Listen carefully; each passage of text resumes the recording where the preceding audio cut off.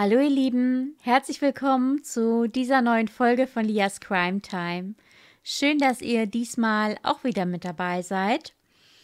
Heute habe ich für euch zwei ungeklärte Vermisstenfälle, also eine Doppelfolge. Vermutlich aber sind die beiden Frauen, um die es in dieser Folge gehen wird, nicht mehr am Leben. Und ich würde sagen, wir fangen mit dem älteren Fall an, der erste Fall, mit dem wir anfangen, ist dann der Fall von Eleonore Schneeweiß. Vielleicht erinnern sich die Stammzuschauer von Aktenzeichen XY auch noch an diesen Fall. Er ist nämlich erst im April 2023 bei Aktenzeichen XY ausgestrahlt worden. Eleonore Schneeweiß war damals 35 Jahre alt und dieses damals liegt schon sehr weit zurück, nämlich 1984. Sie war verheiratet, damals bereits schon zehn Jahre. 1978 kaufte sich das Ehepaar ein Reihenhaus in Tamm in der Heilbronner Straße. Tamm liegt übrigens im Kreis Ludwigsburg in Baden-Württemberg. Und Eleonore sowie auch ihr Ehemann waren beide berufstätig. Der Beruf vom Ehemann ist jetzt nicht bekannt gegeben worden, aber Eleonore arbeitete in der Marktforschung. Das heißt, sie hat so das Kaufverhalten analysiert von Kunden in der Drogerie und auch im Supermarkt und sie war viel im Außendienst tätig. Dafür hatte sie dann auch einen Firmenwagen erhalten, einen weißen Opel Kadett, der spielt auch so eine kleine Rolle in dem vermissten Fall. Zusätzlich hat Eleonore auch noch in einem Supermarkt in Ludwigsburg gearbeitet. Im Herbst 1984 war sie dort regelmäßig. Sie hat dort Arbeiten übernommen, die ebenso angefallen sind, und auch der Markt spielt in diesem Fall eine kleine Rolle. Im Herbst 1984 spricht Eleonore mit einer Freundin und berichtet über Eheprobleme. Als die beiden sich dann treffen, erzählt sie ihr im Stillen, dass ihr Ehemann seit Monaten eine Affäre haben soll und sie möchte das nicht mehr aushalten. Er wollte diese Affäre wohl auch nicht wirklich beenden und sie wollte dann natürlich ausziehen aus dem gemeinsamen Haus. Aber beiden gehörte das gemeinsame Reihenhaus und ihr Mann wollte, dass Eleonore ihm das Haus überschreibt. Das wollte sie verständlicherweise nicht. Es machte nämlich auch nicht den Anschein in dem Beitrag damals, als ob ihr Ehemann vorhätte, Eleonore auszubezahlen. Ausziehen wollte Eleonore aber definitiv erstmal, und zwar zu ihrer Schwester in die Pfalz. Dort ist sie auch am Wochenende des 20. Oktober 1984 hingefahren. Und dort haben auch schon die Schwester und ihr Mann ein Zimmer für sie vorbereitet, in dem sie erstmal leben könnte, bis alles geklärt sei. Auch wollte sich Eleonore in den Wohnort ihrer Schwester versetzen lassen, aber die Firma, bei der sie damals angestellt war, sah das wohl nicht so gerne. Aber auch das war Eleonore mehr oder weniger egal, denn sie hätte ja auch einen Neuanfang dort einfach starten können und sich eine neue Stelle suchen. Auch dafür war sie bereit. Nach dem Wochenende bei ihrer Schwester damals fährt sie erstmal wieder zurück zu ihrem Ehemann ins gemeinsame Haus. Was damals aber nicht so wirklich jemand wusste, war, der Umzug stand eigentlich unmittelbar bevor. Das hat sie aber niemandem so wirklich erzählt, auch nicht ihrem Mann. Vielleicht wusste sogar nur die Schwester davon. Am 24. Oktober erhält Eleonore dann zu Hause noch einen Anruf vom Supermarkt, wo sie ja gelegentlich mal gearbeitet hat. Sie solle sofort am Abend noch kommen. Und dort gab es dann ein Streitgespräch mit ihrem Vorgesetzten. Eleonore wurde Betrug mit Pfandbons vorgeworfen, da hatte es sich um mehrere tausend D-Mark gehandelt. Sie hat den Vorwurf damals aber sofort zurückgewiesen, aber trotzdem hat sie noch am Abend damals Hausverbot erhalten, eine Anzeige und wurde auch dort im Markt entlassen. Das war aber nicht ihr direkter Arbeitgeber, der ihr das Auto zur Verfügung stellte, sondern ja nur der Supermarkt, wo sie ein bisschen sich wohl noch dazu verdiente und vielleicht auch mal ähm, ja eine Marktanalyse durchgeführt hat. Das ist jetzt, glaube ich, nicht ganz so klar. Und Eleonore litt auch stark unter den Beschuldigungen von diesem Supermarkt und meldete sich erst einmal krank. Am 25. Oktober telefoniert sie am Abend noch mit ihrer Schwester, auch über die Situation im Supermarkt. Trotz der unklaren beruflichen Lage freute sie sich sehr auf den Neuanfang. Das Telefonat am 25. Oktober 1984 sollte das letzte zwischen Eleonore und ihrer Schwester sein. Danach hat sie sich nicht mehr bei ihr gemeldet. Am 12.11. meldet ihr Ehemann sie bei der Polizei als vermisst. Ihre Schwester hatte das bereits zuvor schon getan. Ihr Ehemann will Eleonore zuletzt am 1. November 1984 gesehen haben. Reisetaschen seien gepackt und verschwunden, Kleidung auf dem Bett sauber sortiert. Er würde erst zu spät zur Polizei kommen, da er dachte, sie nehme sich eine Auszeit oder wollte sich eben nun endgültig trennen. Ihr Auto aber war die ganze Zeit vor dem Haus geparkt. Als die Polizei das Auto durchschauen wollte, sagte ihr Ehemann, es sei bereits von der Firma abgeholt worden, die meinen wohl, sie würde nicht mehr zurückkommen, war da die Aussage. Obwohl sie ja zwei Wochen vielleicht nur krankgeschrieben war, finde ich ein bisschen merkwürdig. Ihr Mann äußerte dann auch noch, dass sie mal Kontakt zu einer Kurbekanntschaft gehabt hätte, aber darauf wurde im TV-Beitrag jetzt nicht weiter eingegangen. Vermutlich war das auch keine wirkliche Spur zu ihr. Ein Suizid hat der Ehemann aber auch ausgeschlossen, so wie auch die Familie das wohl getan hat. Als die Polizei sich drei Tage später das Haus anschaute, fehlten auch Eleonores Unterlagen. Alles sah also auf den ersten Blick so aus, als wäre sie wirklich nur für eine kurze Zeit verreist. Aber sie kam nicht wieder. Und damals wird der Fall dann auch in den Zeitungen veröffentlicht und 1986 meldeten sich daraufhin ein paar Leute, die angegeben haben, Eleonore in Baden-Baden gesehen zu haben. Und als die Polizei der Spur dann nachgeht, öffnet ihnen eine Frau, die Eleonore wirklich zum Verwechseln ähnlich gesehen hat, aber es war nicht sie, also eine falsche Spur. Das war aber eben ja so ein kleiner Hoffnungsschimmer in dem Fall, aber leider war es ja nicht so. Seit dem 25. Oktober 1984 hat Eleonores Schwester nichts mehr von ihr gehört. Ihr Ehemann will sie zuletzt am 1.11.1984 gesehen haben. Es gab nie wieder ein Lebenszeichen von ihr und auch keine Kontobewegungen. Die Vorwürfe, die der Supermarkt gegen Eleonore hatte, konnten nie bewiesen werden. Auch ihr Ehemann wurde von der Polizei durchleuchtet, inwieweit ist aber nicht bekannt. Für die Polizei spielte natürlich auch Eleonores Firmenwagen eine Rolle, der weiße Opel Kadett, damals mit Frankfurter Kennzeichen, der ja leider scheinbar abgeholt wurde, aber warum man den dann nicht noch durchsuchen konnte, finde ich ein bisschen fragwürdig, weil es wäre ja möglich, dass damit auch eine Leiche transportiert worden sein könnte. Eleonore ist nun 39 Jahre vermisst, eine wirklich, wirklich lange Zeit und wenn sie heute noch lebt, wäre sie 74. Weshalb die Polizei das alles so spät erst an die Öffentlichkeit gegeben hat, also an die breite Öffentlichkeit zu Aktenzeichen XY, ist ja auch unklar. Die Cold Case Abteilung hat das wohl übernommen vom Bundeskriminalamt und hat sich dem alten Fall halt nochmal angenommen. Vielleicht ist man auch deswegen zu Aktenzeichen gegangen, in der Hoffnung auf Klärung, aber die Ermittler glauben mittlerweile nicht mehr, dass Eleonore noch am Leben sein könnte. Auch wurde als Hinweis mitgeteilt, dass einem Mithelfer, zum Beispiel beim Verbringen des Leichnams, heute keine Strafe mehr drohen würde, da das Ganze mittlerweile verjährt ist. Auch Eleonores Familie belastet dieser Fall wohl bis heute und sie wünschen sich natürlich Gewissheit, was mit ihr passiert ist.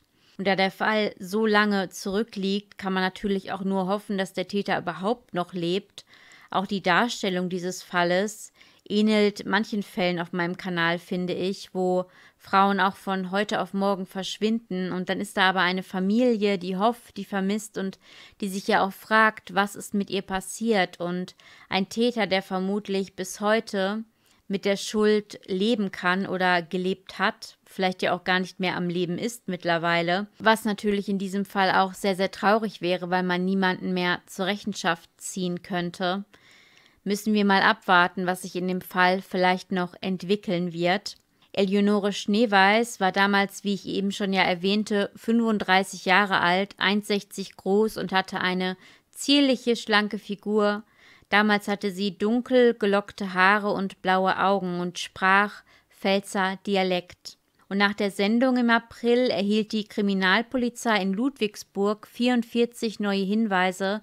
Das war allerdings das Hinweisaufkommen keine 24 Stunden später. Und nur weil die Ausstrahlung ja jetzt schon vier Monate her ist, halte ich es noch nicht für ausweglos, diesen Fall vielleicht noch klären zu können, weil viel arbeitet bei der Polizei ja auch im Hintergrund. Wir bekommen vieles nicht mit und vier Monate nach so einer Sendung, finde ich, ist noch keine Zeit.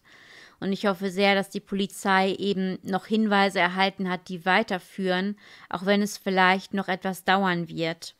Bei dem Fall von Eleonore spielt ja eben die Zeit wirklich eine Rolle. Der Fall ist fast 40 Jahre alt und natürlich ist auch der Täter wahrscheinlich schon in einem gewissen Alter, wo er vielleicht kaum noch eine Strafe absitzen müsste, zu alt für den Justizalltag wäre. Das sind halt auch so Gedanken, die mir da kommen. Ich hatte nämlich mal einen Fall, wo jemand schon schwer pflegebedürftig war, aber auch mit an einer Tat beteiligt gewesen ist und nicht mehr inhaftiert wurde. Ja, im Idealfall wäre es natürlich am besten, wenn Eleonore noch leben würde, jedoch glaubt daran so wirklich niemand mehr leider. Sie freute sich auf den Neuanfang bei ihrer Schwester, den es ja leider nicht mehr gegeben hat, und auch ein Unfall wird eigentlich weitestgehend ausgeschlossen, sodass eigentlich wirklich nur ein Verbrechen in Frage kommt. Ich hoffe natürlich sehr, auch durch die Ausstrahlung bei Aktenzeichen XY, dass nochmal Bewegung in diesen Fall reinkommt und man diesen vielleicht doch noch lösen kann. Das wäre natürlich besonders für die Angehörigen von Eleonore mit Sicherheit eine sehr, sehr große Entlastung, endlich zu wissen, was mit ihr passiert ist, ob es ein Verbrechen war oder ein Suizid oder was auch immer. Also sind wir gespannt, was sich da hoffentlich in der nächsten Zeit noch tun wird. Und kommen dann jetzt mal zu dem zweiten Fall, den ich euch vorstellen möchte. Wäre diese Folge eine Einzelfolge geworden, hätte ich die vermutlich so gar nicht präsentieren können, da es zu wenige Informationen gibt. Aber zu einer Doppelfolge passt dieser eigentlich noch ganz gut, weil man ihn dann noch so mit hinten dran fügen kann. Das war ein Fall, den ich auch erst vor kurzem entdeckt habe, sagte mir gar nichts, ist wohl auch nicht ganz so bekannt leider. Ihr könnt mir ja mal schreiben, ob ihr den Fall gekannt habt. Es geht um den Fall Monika Liebel. Sie war im Jahr 2007, in dem sie auch verschwunden ist, 41 Jahre alt, von schlanker Figur, sie war 1,60 groß und hatte längeres braunes Haar. Monika hat damals in der Bäderaufsicht in einer Therme in Erding gearbeitet.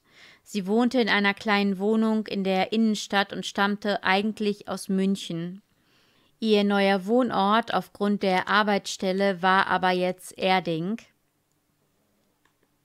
Vermisst wird Monika seit dem 21. Juli 2007.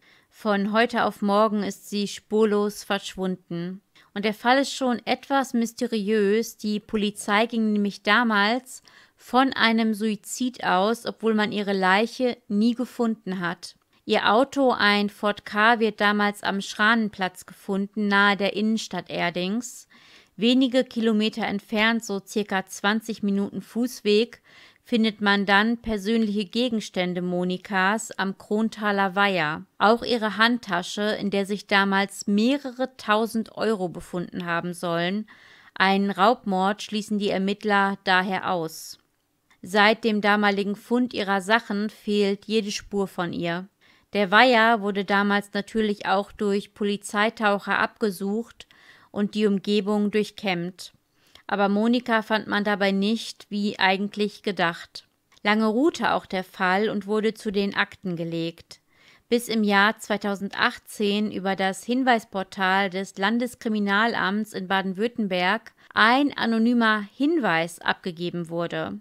Der Informant gab an, dass er wisse, dass Monika Liebel am Abend des 21. Juli 2007 ermordet worden sei. Auch benannte er einen möglichen Täter und einen Fundort. Der Fundort soll wohl eine kleine Kleingartenanlage in Erding sein, wenige Meter vom Weiher entfernt. Auch soll derjenige einiges zu dem Fall gewusst haben. Der angebliche Täter soll laut Staatsanwaltschaft Landshut einige Zeit auch in Erding gelebt haben. Er sowie auch Monika sollen über das Internet nach Bekanntschaften gesucht haben. So geht man nun davon aus, dass es wohl zu einem Treffen gekommen sein könnte und die Situation am Weiher eventuell eskaliert sein könnte, so die Staatsanwaltschaft. Was die Beamten aber aufhorchen ließ, ist, dass der angegebene Täter von dem anonymen Hinweisgeber heute circa 60 Jahre alt sein soll und damals am Flughafen beschäftigt war. Ich nehme mal an, das ist der Flughafen München gewesen. Und kurz nachdem Monika verschwunden ist, ist er weggezogen.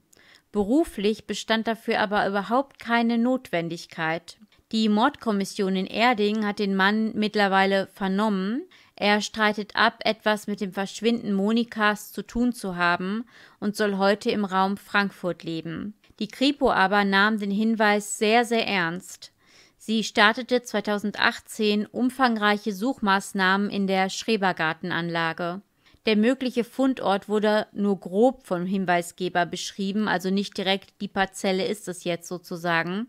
Und zum Einsatz kamen zwei Leichenspürhunde unterstützt durch die Technische Universität mit Bodenradargeräten. Man konnte das Gebiet durch den Hinweis auf circa fünf Parzellen eingrenzen damals. Die beiden Leichenspürhunde schlugen aber nur einmal an, aber an dieser Stelle wurde man nicht fündig. Und der lange Zeitraum, elf Jahre, machte es den Ermittlern natürlich nicht gerade einfacher, den möglichen Leichnam von Monika zu finden. Leider wurde die Polizei auch nicht mehr fündig, auch nicht auf den anderen Parzellen, keine Spur von ihr, trotz dem anonymen Hinweisgeber, der natürlich vielleicht auch nur ein Trittbrettfahrer bzw. ein Geschichtenerzähler gewesen sein könnte. Die Kripo sah das Ganze aber auch als einen neuen Impuls an, nochmal in die Öffentlichkeit zum Fall Monika zu gehen. Leider aber meldete sich der anonyme Hinweisgeber nicht nochmal bei der Polizei, und auch als der Fall nochmal durch die Medien ging, kam es zu keinen neuen Hinweisen aus der Bevölkerung. Deshalb hat die Polizei damals auch gebeten, dass die Parzellenbesitzer sich erinnern sollen, ob sie damals vielleicht auffällige Beobachtungen gemacht haben, weil es könnte ja auch sein, dass sie auf einer anderen Parzelle vergraben sein könnte, aber ich denke, nach so langer Zeit wird da wohl nichts mehr an Hinweisen gekommen sein, sonst hätte man das bestimmt nochmal in einem Presseartikel ähm, ja, veröffentlicht. Die Hoffnung, Monika noch zu finden, möchte aber weder die Polizei noch ihre Familie oder Freunde aufgeben. Ob Monika Opfer eines Gewaltverbrechens wurde, sei noch immer offen. Es gibt nur Hinweise darauf, dass sie eben Opfer eines Verbrechens wurde, aber keine Belege. Genauso ist unklar, weshalb sie so eine hohe Bargeldsumme damals mit sich führte und diese dann einfach in ihrer Tasche am Weiher liegen lässt. Und wie ist sie auch ohne Auto zum Weiher gekommen? Lange laufen tut man zwar nicht, aber dabei hätte sie ja auch eigentlich jemand sehen müssen. Da die Tat, wenn es denn eine gegeben hat, wohl in den Abendstunden passiert sein soll. Weiß ich natürlich auch nicht, wie viel dort am Krontaler Weiher noch so los ist. Vielleicht wohnt ja jemand von euch da und kann mal berichten. Für ein Internet-Date wäre ein Weiher natürlich auch ein schöner Platz eigentlich gewesen, so zum Spazierengehen. Auch soll der Weiher wohl auch als Badesee genutzt worden sein. Ein Internet-Date könnte zumindest ich mir in diesem vermissten Fall schon vorstellen. Auf jeden Fall mehr wie einen Suizid. Über das Privatleben Monikas gibt es allerdings keine Berichte, wie es ihr also psychisch gegangen ist, ist völlig offen. Genauso offen ist es, ob sie viele Kontakte über das Internet gesucht hat. Und ich hoffe aber für Monikas Familie einfach inständig, dass dieser anonyme Hinweisgeber, sollte er halt kein Geschichtenerzähler gewesen sein, sich nochmal meldet. Und da sieht man ja auch mal, vielleicht ist er auch ein Mittäter gewesen oder einfach ein Mitwisser, der sich nach elf Jahren dann gemeldet hat. Wenn es natürlich stimmt, was der Mann gesagt hat in dem Portal, sieht man mal, dass es auch wirklich noch Leute gibt, die mit dem Gewissen hadern und sich nach über zehn Jahren noch bei der Polizei melden. Das darf man immer nicht vergessen als Täter. Also ähm, da muss man ja immer irgendwo mit rechnen und ich glaube, ich könnte so nicht leben, aber es gibt nun mal viele, die so leben können. Und es gibt natürlich nichts Schlimmeres wie Ungewissheit auch für die Familie. Auch wenn man leider aufgrund dessen, was man so über den Fall hört, denke ich schon von einer Straftat ausgehen muss. Kann mir eigentlich nicht vorstellen, dass sie sich suizidiert haben könnte, aber wie gesagt, man weiß über ihr Privatleben dafür zu wenig, um darüber urteilen zu können.